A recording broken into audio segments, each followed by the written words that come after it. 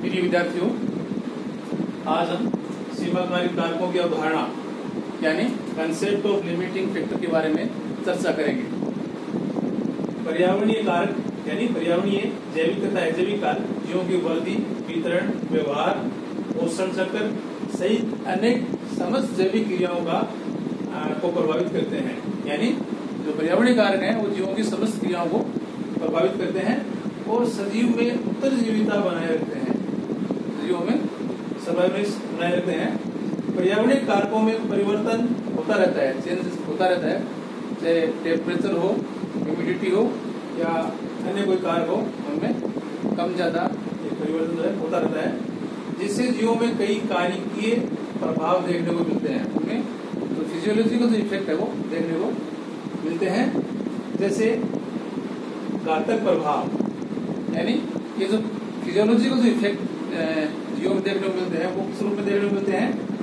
घातक के रूप में, यानी कोई इन्वायरमेंटल फैक्टर जो है, ज़्यादा हो जाए या बहुत कम हो जाए तो वो उस जीव के लिए घातक होता है। यानी अत्यधिक गर्मी और सर्दी से जो है जीव पर घातक प्रभाव देखने को मिलता है। इसी तरह से आवरण मास्कन इससे अन्य कारकों का प्रभाव चेंज हो जाता है। वातावरण में नमी कम होने पर जो गर्म रुधिर वाले जो प्राणी हैं वार्म ब्लडेड एनिमल्स में वाष्पीकरण की रेट बढ़ जाती है। अगर जो वातावरण है, उसमें अगर नमी कम हो जाएगी तो वाष्पीकरण की जो रेट है, वो बढ़ जाती है एनिमल्स में। इसी तरह से कंट्रोल के रूप में विभिन्न वातावरणीय कारक जैसे तापमान, दाब शांता आदि के प्रभाव से उपाक्षय साव और मूवमेंट से संबंधित जो क्रियाएँ वो प्रभावित होती हैं। इसी तरह से न्यूनता, किसी पर्यावरणीय कारक की जो है, कमी हो जाती है। तो वो भी जीवों की कार्यकी पर फिजियोलॉजी पर इफ़ेक्ट डालता है। वो कैसे डालता है? जीवों की वृद्धि के लिए आवश्यक प्राकृतिक तत्वों की मात्रा में कमी आने पर वृद्धि रुक जाती है। यानी जो प्राकृतिक जो तत्व हैं, जो जीवों की वृद्धि और विकास के लिए आवश्यक है, जिसे एसेंशियल एलिमेंट्स भी कह सकते हैं, ये रसायन के रूप में पाए जाते हैं और इन तत्वों की जो मात्रा है, अगर कम हो जाए तो जीवों की वृद्धि रुक जाती है। ये जो आवश्यक प्राकृतिक तत्व है, जो जीवों की वृद्धि और विकास के लिए अत्यंत आवश्यक है, ये कौन कौन से हैं? मैक्रो एलिमेंट्स माइक्रो एलिमेंट्स और ट्रेस एलिमेंट्स यानी इन पोषक तत्वों को या रासायनिक तत्वों को अपन जो है, अध्ययन की सुविधा के दृष्टि तीन भागों में बांटकर अध्ययन कर सकते हैं। पहला है मैक्रो एलिमेंट्स मैक्रो एलिमेंट्स यानी ये बहुत ज़्यादा मात्रा में पौधों की वृद्धि और विकास के लिए आवश्यक होती है। जैसे carbon hydrogen oxygen nitrogen phosphorus calcium magnesium, sulphur, ये जो तत्व हैं, ये जीवों को इनकी अत्यधिक मात्रा में आवश्यकता होती है वृद्धि और विकास के लिए। इसी तरह से दूसरे कुछ तत्व ऐसे होते हैं जिनको बोलते हैं माइक्रो एलिमेंट्स यानी सूक्ष्म मात्रिक तत्व है। ये तत्व वो होते हैं जिनकी मात्रा बहुत ज़्यादा मात्रा में आवश्यकता नहीं होती, लेकिन आवश्यकता होती है। जैसे एर्स है मैग्नीज है, बोरोन है, मोलिब्डेनम है, कॉपर है, जिंक है, क्लोराइड है, ये जो तत्व है, ये माइक्रो एलिमेंट्स कहलाते हैं। इसी तरह से कुछ तत्व है, अत्यल्प मात्रा में आवश्यक होते हैं जिसको की वृद्धि और विकास के लिए। तो जो जीवों की वृद्धि और विकास के लिए बहुत कम मात्रा में आवश्यक तत्व होते हैं, उनको बोलते हैं ट्रेस एलिमेंट्स। और ये तत्व हैं sodium vanadium cobalt, iodine, selenium, silicon face और बेरियम। तो ये जो तत्व हैं, चाहे माइक्रो हो, मैक्रो हो, या ट्रेस एलिमेंट्स हैं, इनकी भी अगर कमी आ जाती है, न्यूनता आ जाती है तो जीवों की वृद्धि और विकास रुक जाती है। विशेष तौर से जो माइक्रो ट्रेस एलिमेंट्स हैं, इनका बहुत ज़्यादा महत्व है और इनका महत्व है निगलेक्ट नहीं कर सकते। हम ये नहीं कह सकते ये बहुत कम मात्रा में तत्व जीवों की वृद्धि और विकास के लिए आवश्यक है। अगर इन तत्वों की मात्रा और भी कम हो जाएगी, अगर ये नहीं हो तो भी जीवों की वृद्धि विकास होता रहेगा, लेकिन ये सोचना गलत होगा, क्योंकि इन तत्वों का होना अत्यंत आवश्यक है। भले ही जो है माइक्रो एलिमेंट्स पर्याप्त मात्रा में उपलब्ध हो, लेकिन माइक्रो एलिमेंट्स का होना या ट्रेस एलिमेंट्स का होना अत्यंत आवश्यक है। सभी सजीवों में प्रत्येक पर्यावरणीय कार्य के लिए सहनशीलता की एक निश्चित प्रयास पाई जाती है। यानी जितने भी जीव हैं, उनके लिए पर्यावरणीय कारकों की सहनशीलता की एक निश्चित प्रयास होती है सीमा होती है, लिमिट होती है। यदि कोई भी अजैविक पर्यावरणीय कारक एबायोटिक एनवायरमेंटल फैक्टर अधिकतम सहनशील स्तर से ऊपर तथा न्यूनतम सहनशील स्तर से कम हो तो वह सीमाकारी हो जाता है। तो लिमिटिंग फैक्टर जो है, कब हो जाता है कोई फैक्टर क्योंकि उस पर्यावरणीय कारक की प्रत्येक जीव के लिए सहनशीलता की एक सीमा होती है। जैसे मान लो टेम्परेचर की अगर बात करें, वो अगर अधिकतम 50 डिग्री तक जीवों के लिए क्या है? सेंसिटिव तक सीमा है। लेकिन उस सेंसिटिव सीमा से ऊपर हो जाता है। और अगर मान लो सेंसिटिव तक न्यूनतम सीमा ज़ीरो डिग्री है तो ज़ीरो डिग्री से डाउन चला जाता है। यानी पचास डिग्री से ऊपर और ज़ीरो डिग्री से अगर नीचे टेम्परेचर हो जाता है तो वो पर्टिकुलर जीव के लिए, प्रजाति के लिए घातक प्रभाव दिखाएगा। तो वो फैक्टर जो है सीमाकारी हो जाता है। और उस क्षेत्र में जीवों के वितरण को प्रभावित करता है। दूसरे शब्दों में अगर कहें तो कोई भी वातावरणीय कारण, कोई भी एनवायरमेंटल फैक्टर इकोसिस्टम में विभव वृद्धि को कम करने का प्रयास करता है तो उसे सीमाकारी कारक कहा जाता है। उस क्षेत्र में तो जितने जीव हैं, उनकी ग्रोथ को, उनके वितरण को, विकास को अगर अवरुद्ध कर देता है तो वो क्या कहलाता है? सीमाकारी कारक कहलाता है। सदियों में वृद्धि तथा वितरण को प्रभावित करने वाले कारकों से संबंधित दो नियम, जस्टिस लिविंग तथा सेल्फुड ने दिए थे। जस्टिस लिविंग ने 1840 में और सेल्फर्ड ने 1933 में दो नियमों का प्रतिपादन किया। ये नियम कौन से थे? जीवों की वृद्धि और विकास को प्रभावित करने वाले कारकों से संबंधित। कौन कौन से कारक हैं जो जीवों की वृद्धि और विकास को प्रभावित करते हैं? तो लिविंग का न्यूनता का नियम, सबसे पहले हम बात करेंगे। लिविंग का न्यूनता का नियम लिपिक जो है। इन्होंने किताब लिखी, ये रिसर्च रिसर्च कर रहे थे, और उन्होंने किताब लिखी organic chemistry and its application to agriculture and physiology यानी कार्बनिक रसायन का कृषि और जीवों की कार्य की पर प्रभाव, या प्लांट की जो फिजियोलॉजी है उस पर प्रभाव। तो ये जो ऑर्गेनिक केमिस्ट्री ये जो केमिकल्स हैं जो एलिमेंट्स है तत्व है, रासायनिक तत्व है, उनका कृषि और जो कृषि से जुड़े हुए जो पादप है, उनकी जो फिजियोलॉजी है फिजियोलॉजी की जो एक्टिविटीज़ है, उन पर क्या प्रभाव पड़ता है ये? उसकी फिजियोलॉजी एक्टिविटी को रोक देते हैं या बढ़ा देते हैं, किस तरह से उसमें सहायक होते हैं? तो उस पर वो अध्ययन कर रहे थे, और इस पर उन्होंने किताब लिखी, किताब का नाम था organic chemistry and its application to agriculture and physiology इस पुस्तक में लिविंग ने प्लांट्स के ग्रोथ पर पर्यावरणीय कारकों के प्रभाव का अध्ययन किया। इस किताब में क्या किया? उन्होंने प्लांट्स की ग्रोथ पर जो पर्यावरणीय कारक है, उसका क्या प्रभाव पड़ता है, इसका उन्होंने वर्णन किया और उन्होंने बताया लिविंग के अनुसार प्लांट्स की ग्रोथ उन कारकों द्वारा नियंत्रित होती है। प्लांट्स की ग्रोथ उन कारकों द्वारा नियंत्रित होती है जिसका कम मात्रा में प्रयोग किया जाता है। ये अवधारणा लिविंग की अवधारणा कही जाती है। तो लिविंग ने क्या कहा? जैसे मैंने अभी पहले बताया था कि प्लांट्स हो या एनिमल्स हो, दोनों की जो ग्रोथ है, उसके लिए जो आवश्यक एलिमेंट्स हैं कार्बनिक पदार्थ हैं, रसायन है, इनकी हमने वो आवश्यकता होती है। कार्बनिक कार्बनिक जो पदार्थ इनकी आवश्यकता होती है वृद्धि और विकास के जीवों के लिए। तो कुछ तत्व जो है, अत्यधिक मात्रा में आवश्यक होते हैं। मात्रा में कम कुछ तत्व कम मात्रा में आवश्यक होते हैं, वो कुछ तत्व बहुत ही कम मात्रा में आवश्यक होते हैं। तो यहाँ पर लिविंग कह रहे हैं कि जो न्यूनतम मात्रा में, यानी जिसकी कम मात्रा में प्रयोग किया जाता है, जिनकी कम मात्रा में आवश्यकता है, उन तत्वों की भी हम उपेक्षा नहीं कर सकते। अगर वो एलिमेंट्स उस सोइल में, उस एनवायरमेंट में अगर नहीं होंगे तो प्लांट्स की ग्रोथ रुक जाएगी। तो कहने का मतलब है कि प्लांट्स की ग्रोथ उन कारकों द्वारा नियंत्रित होती है जिसका कम मात्रा में प्रयोग किया जाता है। यानी कम मात्रा में प्रयोग किया मतलब है जैसे मान लीजिए कि trace elements sodium vanadium cobalt iodine selenium ये जो तत्व है यहाँ पर बोरोन भी इसको शामिल कर सकते हैं, ये माइक्रो एलिमेंट्स है। तो ये जो तत्व जिनकी कम मात्रा में प्लांट्स को आवश्यकता होती है अपनी, वृद्धि और विकास के लिए, लेकिन ये कम मात्रा भी इनको नहीं मिलेगी तो इनकी वृद्धि और विकास इनका अवरुद्ध हो जाएगा। बाकी भले ही जो माइक्रो एलिमेंट्स पर्याप्त मात्रा में हो या ज़्यादा हो, उससे कोई फ़र्क नहीं पड़ेगा। लेकिन जो माइक्रो मैक्रो एलिमेंट्स जिनकी कम मात्रा में आवश्यकता होती है, वो तत्व होना आवश्यक है। जैसे इन्होंने एग्ज़ाम्पल बताया, जैसे ध्रुवीय प्रदेशों में तापमान। ध्रुवीय प्रदेशों में तापमान बहुत कम, है ना? दिन, पूरे दिन टेम्परेचर नहीं रहता वहाँ पर, और पूरे साल भी नहीं रहता। तो लेकिन तो न्यूनतम तापमान वहाँ पर होता है। अगर वो तापमान भी अगर नहीं मिलता उन जीवों को तो उनकी वृद्धि और विकास अवरुद्ध हो जाएगी। इसी तरह से अगर डेजर्ट की बात करें तो डेजर्ट में पानी जो है, वो लिमिटिंग फैक्टर का काम करता है। डेजर्ट में पानी कम होता है, लेकिन जो कम पानी है, वो भी अगर उन जीवों को अगर नहीं मिलेगा तो उन जीवों के लिए वहाँ पर जीना मुश्किल हो जाएगा। वहाँ पर वो सर्वाइव नहीं कर पाएँगे और वहाँ से वो प्लान करेंगे या डेड होंगे, जो भी है हो जाएँगे। इस कारण से उनका वितरण भी वहाँ प्रभावित हो सकता है उनकी जो संख्या कम है, वो और भी कम हो जाएगी। तो वर्दी और वितरण दोनों प्रभावित होते हैं। जैसे हम बात करें प्लांट्स की ग्रोथ के लिए बोरोन की आवश्यकता होती है। प्लांट्स की ग्रोथ के लिए बोरोन जो एलिमेंट्स है, उसकी आवश्यकता होती है। बोरोन की अनुपस्थिति में प्लांट्स की वृद्धि रुक जाती है। पहले ही अन्य कारक जैसे कार्बन डाइऑक्साइड नाइट्रोजन और प्रकाश प्रचुर मात्रा में उपलब्ध हो।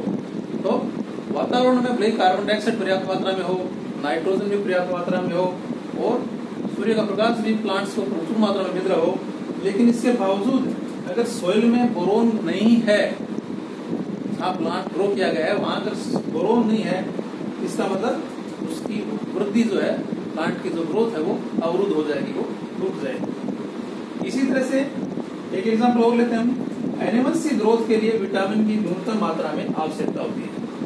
हम सभी के लिए विटामिन सी अत्यंत मात्रा आवश्यक होती है, लेकिन आवश्यक होती है। ऐसा नहीं कि वो अगर अत्यंत मात्रा के नहीं मिलेगी हमारे को, हमारे शरीर को, अगर अत्यंत मात्रा नहीं मिलेगी तो डिफिशियंसी आ जाएगी और पर्टिकुलर डिफिशियंसी का इफ़ेक्ट जो है एनिमल्स में एक डिज़ीज़ के रूप में दिखाई देगा। Vitamin A B C D ये अत्यंत मात्रा में जीवों की वृद्धि और विकास के लिए आवश्यक है, लेकिन ये अगर अत्यंत मात्रा में अगर नहीं मिलेगी तो पर्टिकुलर विटामिन अगर नहीं मिलेगी तो उसे संबंधित डिज़ीज़ जो है उसका जो प्रभाव है वो, देखने को मिलेगा। तो एनिमल्स ग्रोथ के लिए विटामिन की न्यूनतम मात्रा में आवश्यकता होती है, परंतु ये अत्यंत मात्रा में भोजन में उपलब्ध नहीं हो तो शरीर की वृद्धि अवरुद्ध हो जाती है। डीपी का नियम वातावरण में उपलब्ध रासायनिक पदार्थों से संबंधित था, लेकिन बाद में अन्य वैज्ञानिकों ने इससे प्रेरित होकर इस अवधारणा को विस्तारित किया। यानी डीपी का जो एक्सपेरिमेंट था, वो एग्रीकल्चर पर था, एक तरह से प्लांट्स पे था, और प्लांट्स की वृद्धि के लिए जो जो रसायन है, उनका क्या महत्व है? उस पर वो प्रयोग कर रहे थे और ये बता रहे थे कि कुछ तत्व है ज़्यादा मात्रा में आवश्यकता है, कुछ तत्वों की कम मात्रा में आवश्यकता होती है, लेकिन जो कम मात्रा में आवश्यकता होती है, उन तत्वों को भी उन तत्वों की उपेक्षा नहीं कर सकते। ऐसा नहीं कर सकते कि ये तत्व अगर नहीं है तो प्लांट ग्रुप रहेगा, या वृद्धि करेगा ऐसा नहीं है। अत्यंत मात्रा में जिस तत्व की आवश्यकता होती है, उसका होना भी आवश्यक है।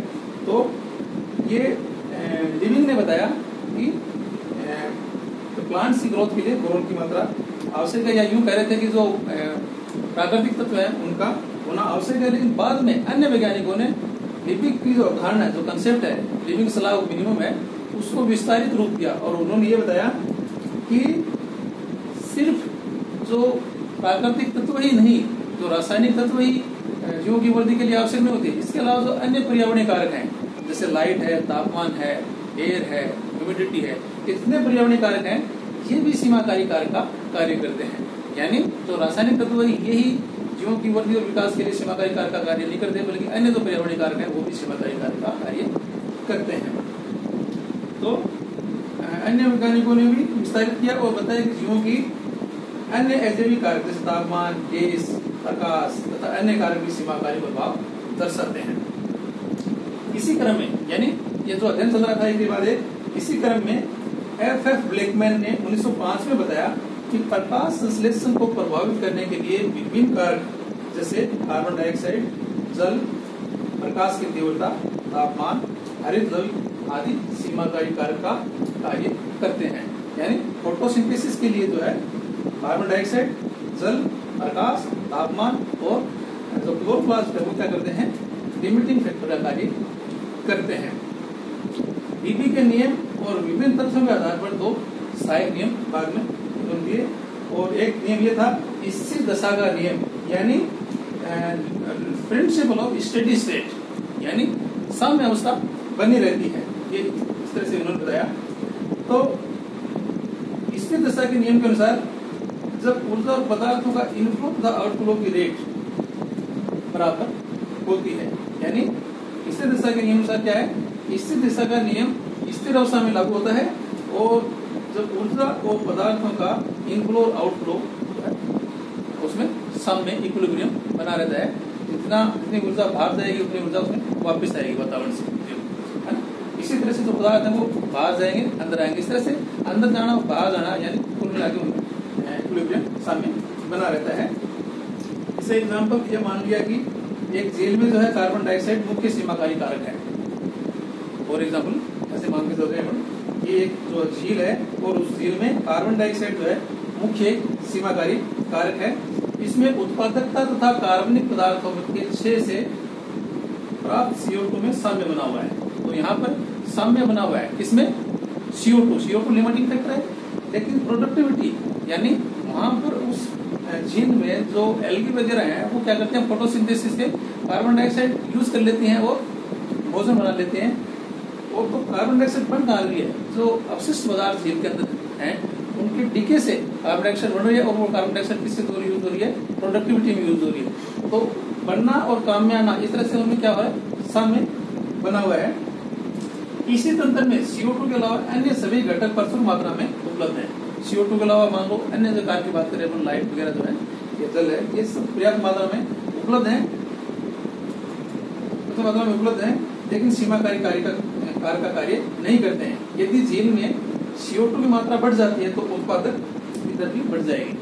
तो मैंने क्या बताया अभी कि जो सीओ जो है, जो कंज्यूम हो रही है है ना किसके द्वारा, जो वहाँ पर एलगी वगैरह है, उसके द्वारा, और जो प्रोडक्ट बन किससे रही है आरोप पदार्थों के अक्षय द्वारा। तो अक्षय द्वारा कार्बन डाइऑक्साइड बन रही है और यूज़ हो रही है, इस तरह से उनमें सामने बना हुआ है। अगर मान लो अपशिष्ट पदार्थ ज़्यादा डाल दिए गए जेल के अंदर तो वहाँ पर सीओ की मात्रा ज़्यादा बनेगी और ज़्यादा बनेगी तो प्रोडक्टिविटी है वो भी ज़्यादा बढ़ जाएगी। और इस तरह से जो अन्य कारक है, दूसरे कारक है, जिसके हम बात कर रहे थे, दूसरे कारक पर्याप्त मात्रा है, वो कारक उससे प्रभावित होंगे और प्रभावित होने से जो अन्य कारक है, वो भी लिमिटिंग फैक्टर का कार्य लग सकता है, कार्य लिमिटिंग फैक्टर बन सकता है। अब हम बात करें कारकों की अंत क्रिया का सिद्धांत। दूसरा सिद्धांत ये है, कारकों की अंत क्रिया का सिद्धांत।